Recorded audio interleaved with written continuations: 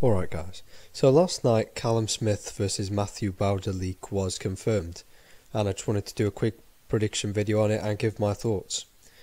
So earlier I went back and I watched um, Mathieu Bauderlique versus Igor Mikhalkin and Mathieu Bauderlique is a solid European level boxer.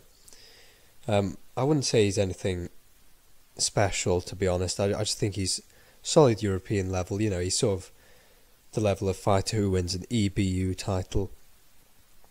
And he did put in quite a good performance against Mikhalkin.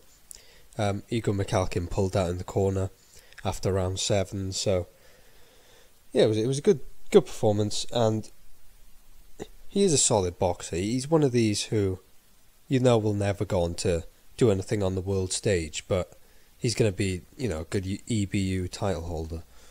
So he hasn't got elite level power or anything. And one thing that will probably, that will definitely uh, cause him problems in this fight is he's got a fairly weak chin. Um, obviously, he got knocked out in one round by um, a journeyman, a Romanian journeyman.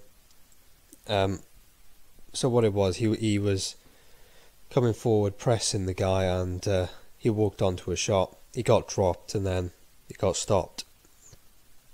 So he's clearly not got the best chin in the world. Like the guy he fought doesn't have a high knockout percentage or anything.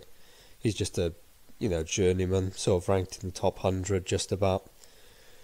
Um, so he, he's clearly got some vulnerabilities there. He hasn't got the best durability. Now, Callum Smith. Obviously, Callum Smith um, is an elite level uh, puncher. He's got a great counter left hook, um, and he's got a pretty good straight right hand.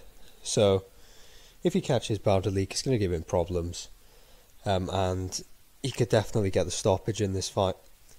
One thing that's interesting is Callum Smith has been outboxed before, obviously in his fight against Erik Skoglund, and also in his fight against Luke Blackledge. Um, he was getting outboxed in those fights. Um, he's never had great defence, Callum Smith, and um, in those fights, especially against Erik Skoglund, like Erik Skoglund in, I think it was the World Boxing Super Series quarter final, um, he was piecing Callum Smith up with a jab, and it looked like, you know, if he would have pressed the fight a bit more, it looked maybe he could have got the stoppage in that fight, but uh, he went on to lose on points and um, he got knocked down. So obviously, Callum Smith hasn't got the best defence and he's proved that he can be outboxed before. Um, since those fights against Erik Skoglund and Luke Blackledge, um, Callum Smith has changed trainer. Obviously, he used to be with Joe Gallagher. Now he's with uh, Buddy McGirt, and we haven't really seen much from him. We saw um, a good performance uh, in his last fight against the guy Dimitri Bivol fought. Um, he knocked him out in two rounds with a, a great right hand um, and he looked good doing it, but we haven't seen much of him under his new trainer.